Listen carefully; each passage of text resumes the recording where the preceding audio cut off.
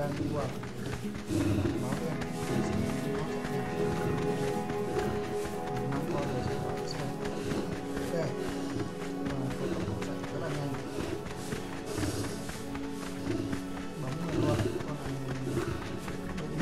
ok và mình tiếp tục với con tiếp theo nha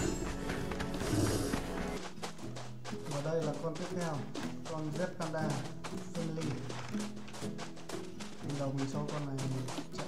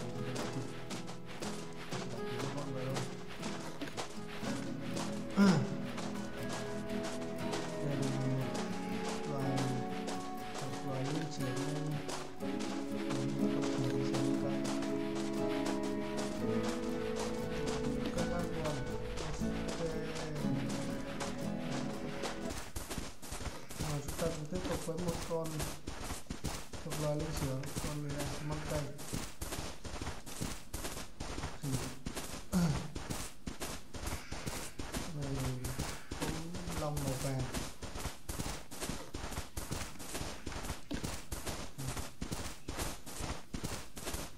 rất là chậm luôn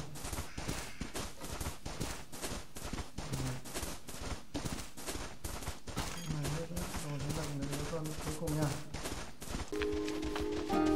đây cuối cùng mình con asterisk phone ok lông sẽ tương rồi